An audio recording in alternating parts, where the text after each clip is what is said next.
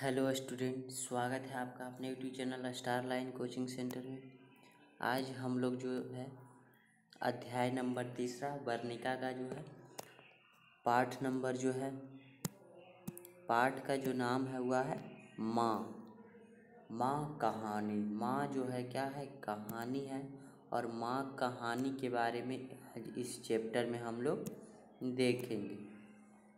तो चलिए देखते हैं। पहला क्वेश्चन है। पहले जो भी विद्यार्थी जुड़ चुके हैं, पहले वीडियो को शेयर कर दीजिए अपने दोस्तों के पास और जो विद्यार्थी जुड़े हुए वीडियो को लाइक कर दीजिए और अपने दोस्तों के पास शेयर कर दीजिए। और शेयर करने के बाद जो विद्यार्थी नए हैं, इस चैनल पे, वो चैनल को क्या कर लीजिए? सब्सक्राइब कर लीजिए। चलिए आगे बढ़ते हैं।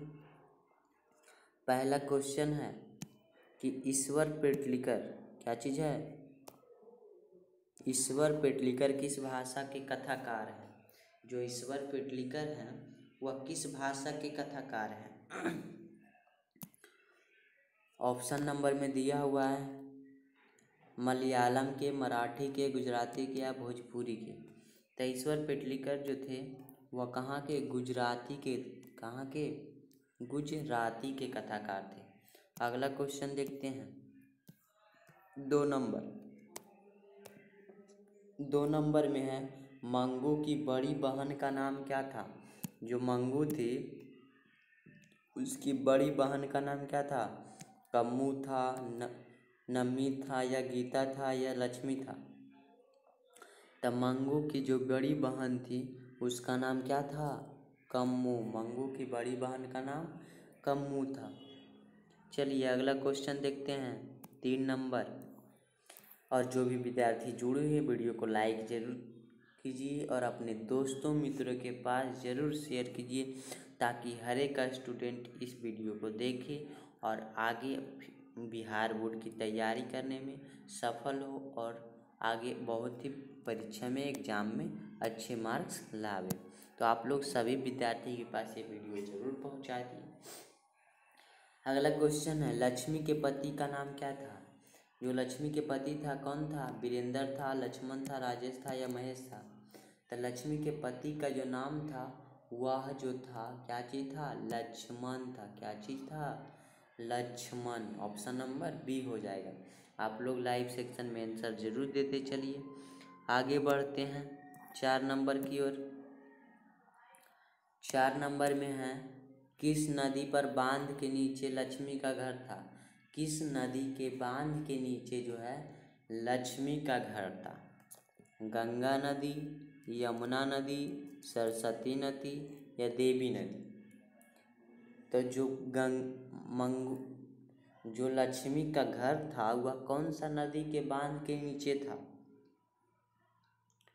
तो वह जो था, कौन नदी था? आप लोग आंसर दीजिए डी में क्या चीज़ हो जाएगा? देवी नदी के नीचे था, देवी नदी के नीचे। चलिए आगे बढ़ते हैं पाँच नंबर की ओर। पाँच नंबर में है, मंगू को लोग कहाँ भर्ती करने की सलाह देते हैं? गौशाला में, पाठशाला में, कारागाह में या अस्पताल में? तब मंगू को जो है लोग भर्ती करने के लिए कहाँ बोलते हैं? अस्पताल में ना बोलते हैं। कहाँ बोलते हैं? अस्पताल में गाँव के लोग क्या बोलते हैं कि अस्पताल में भर्ती कर दीजिए, ये भी क्या हो जाएगी? ठीक हो जाएगी। चलिए अगला क्वेश्चन देखते हैं। छः number.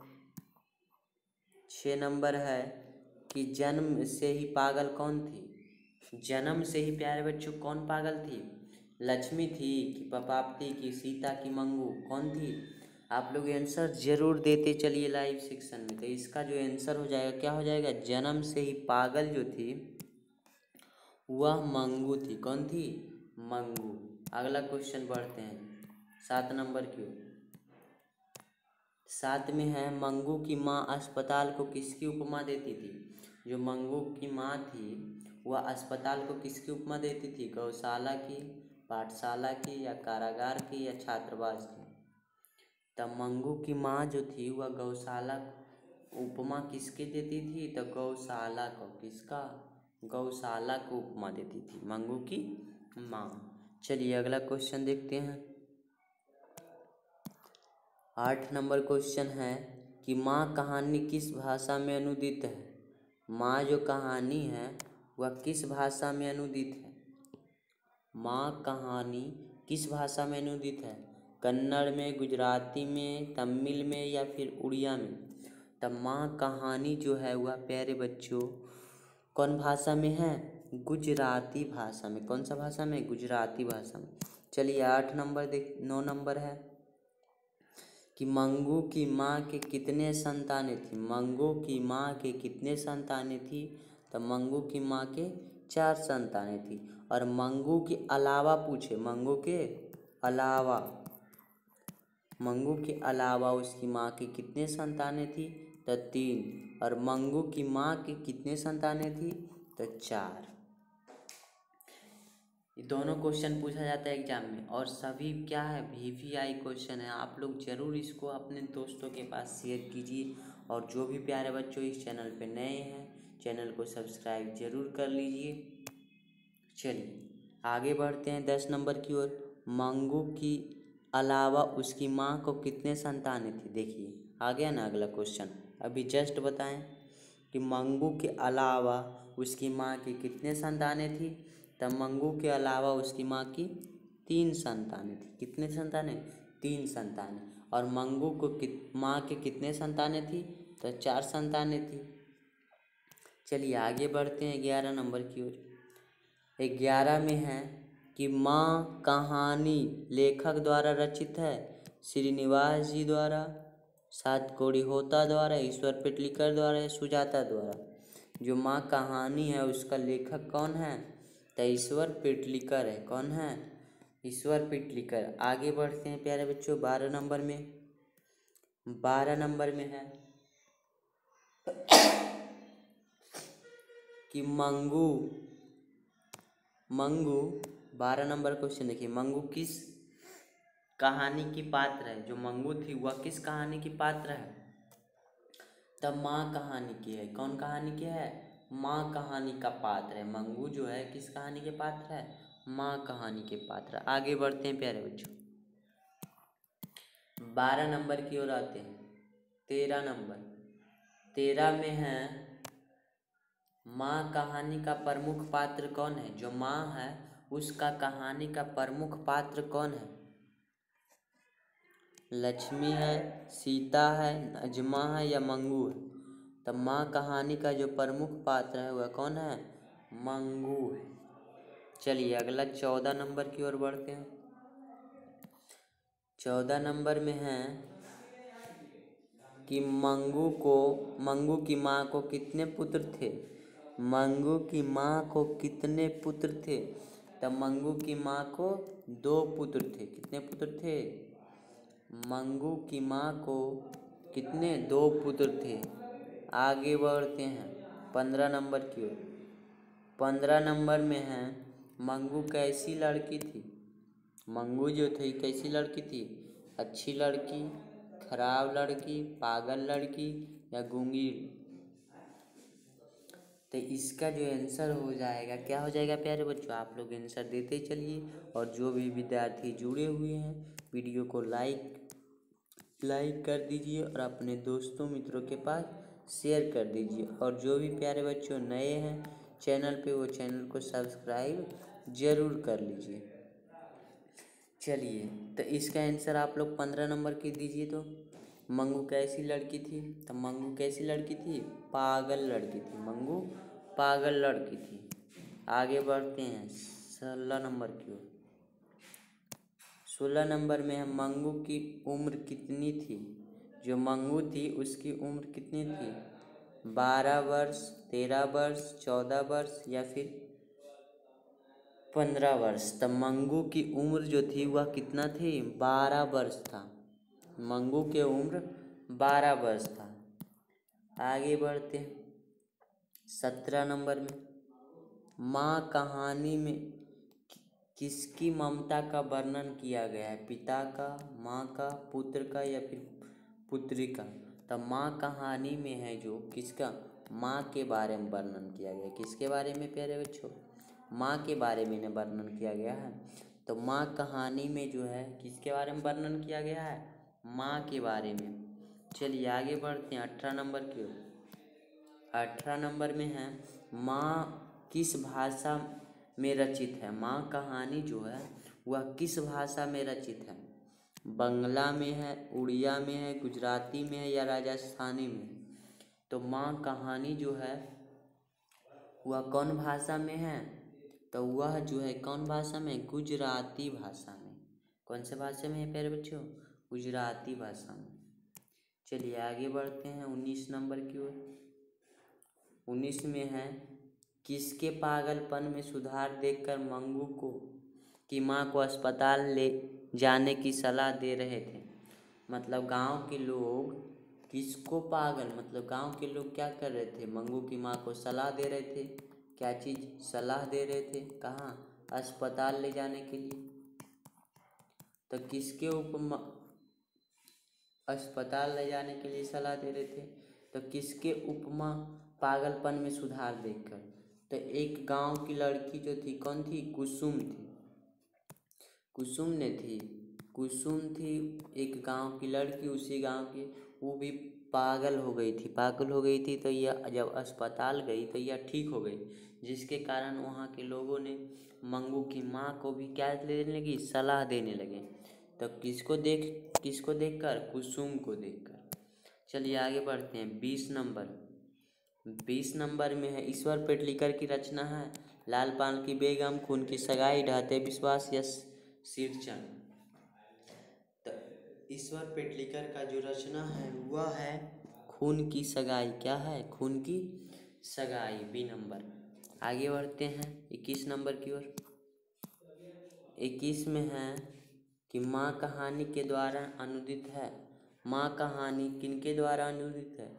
B R Narayan, B R Chopra या गोपाल दास नागर या ईश्वर पेटलिकर तब माँ कहानी जो है, वह इस गोपाल दास नागर द्वारा रचित है। किसके द्वारा?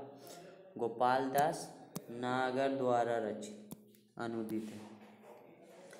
बाईस में आते हैं प्यारा बच्चों। मंगू को पागलपन का रोग कब से था? मंगू जो पागल थी तो वह रोग कब से था? छः वर्ष से था, या जन्मजात से था, या दस वर्ष से, या इनमें से कोई नहीं? तो मंगू को पागलपन का जो रोग था, वह कब से था? जन्मजात था। मतलब जन्म से ही क्या थी मंगू? पागलपन थी मतलब पागल थी। चलिए, तेईस में आते हैं। मंगू जिस अस्पताल में भर्ती की जाती है, उस अस्पताल का कर्मचारी कैसे रहते हैं? व्यवहार कुशल हैं या अव, अव्यवहारिक हैं या कठोर स्वभाव के या अनु, अनुभवहीन हैं? तो उस अस्पताल के जो कर्मचारी थे, कैसा थे? व्यवहार कुशल थे। कैसा थे? व्यवहार कुशल। आगे बढ़ते हैं चौबीस में। चौबीस में है, माँ जी में मंगू को अस्पताल में भर्ती करने के बाद क्या परिवर्तन हुआ? मतलब माँ जी मंगू को अस्पताल में भर्ती करना के बाद उसमें क्या परिवर्तन हुआ? बहुत प्रसन्न हुई। पोते पोते की सेवा में लग गई या पा वह भी पागल हो गई या इनमें से? सभी होगा। तो इ, इसका जो है क्या हो जाएगा सही आंसर सी नंबर वह भी क्या हो गई? पागल हो गई। मतलब जब माँ अस्पताल में भर्ती कर दी किसको? मंगू को। तो धीरे धीरे धीरे धीरे वह भी क्या हो गए हैं? पागल हो गए। धीरे धीरे मंगू की माँ भी पागल हो गई। चलिए, पच्चीस में है। माँ कहानी में कौन पागल था? माँ जो कहानी है, उसमें कौन पागल था? मंगू की माँ था या मंगू या मंगू की भाई, या मंगू का बहन? तो इसका जो आंसर हो जाएगा वह हो जाएगा बी नंबर, मंगू जो थी, क्या थी? पागल थी। आगे देखते हैं, छब्बीस नंबर और लास्ट क्वेश्चन छब्बीस में है। इस तरह पागल पुत्री को तो एक माँ ही पाल सकती है यह किसकी युक्ति है? इस तरह पागल पुत्री को तो माँ एक माँ ही पाल सकती यह किसकी युक्ति है? डॉक्टर की। माँ जी के पुत्री का समाज के लोगों की या अस्पताल के कर्मचारी को। तो इसका जो आंसर हो जाएगा, प्यारे बच्चों, यह हो जाएगा सी नंबर। समाज के लोगों को कहा कि इस तरह के पागल की पुत्री एक माँ ही पाल सकती यह पंक्ति उसी से लिया गया है। समाज के लोगों ने बोला था। तो ये हो गया टोटल छब्बीस क्वेश्चन हम लोग ने देख लिए। टोटल छब्बीस क्वेश्चन तो इससे ज़्यादा क्वेश्चन आप लोग को एग्ज़ाम में नहीं पूछा जाएगा, प्यारे बच्चों। और सभी क्या थे? वी वी आई क्वेश्चन थे। सभी जो है वी वी आई प्रश्न थे। वेरी वेरी इंपॉर्टेंट क्वेश्चन था, प्यारे बच्चों। तो इसको आप लोग एक बार ज़रूर, एक एक बार से दो बार ज़रूर देख लीजिए और और सभी को कॉपी पर क्या कर लीजिए, लिख लीजिए। कॉपी पर लिख लीजिए। और अगर जो आप लोग नहीं लिखना चाहते हैं तो आप लोग पेड ग्रुप चलता है। तो पेड ग्रुप भी ज्वाइन कर सकते हैं। उसमें आप लोग को अभी ऑफ़र में जो है, एक सौ उनचास रुपया पंद्रह अगस्त के ऑफ़र पर जो है अभी छूट दिया गया है तो एक सौ उनचास रुपया आप लोग को पेड करना पड़ेगा। पेड करने के लिए आप लोग को इस नंबर पर पेड कीजिएगा।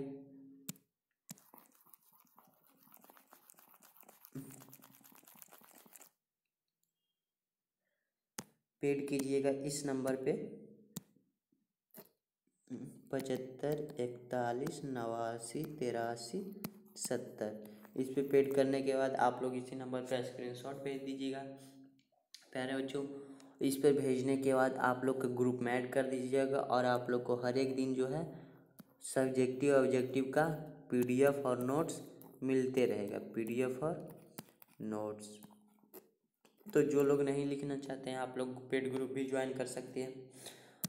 तो चलिए प्यारे बच्चों, कल की वीडियो मिलते हैं। तब तक आप लोग जो भी प्यारे बच्चे जुड़े हुए वीडियो को लाइक कर दीजिए। अपने दोस्तों मित्रों के पास शेयर ज़रूर कीजिए। और साथ ही साथ चैनल को सब्सक्राइब ज़रूर कर लीजिए। जो भी प्यारे बच्चे न्यू हैं, वो सब्सक्राइब ज़रूर कर लीजिए। क्योंकि आप लोग के लाइक और सब्सक्राइब करने से मनोबल जो है, बढ़ता है प्यारे बच्चों। तो आप लोग जितना जल्द ज़्यादा सपोर्ट कीजिए उतना अच्छा हम कर पाएँगे। तो बस आप लोग इसी तरह सपोर्ट करते रहिए। तो मिलते हैं कल की वीडियो में, तब तक जय हिंद। जय भारत।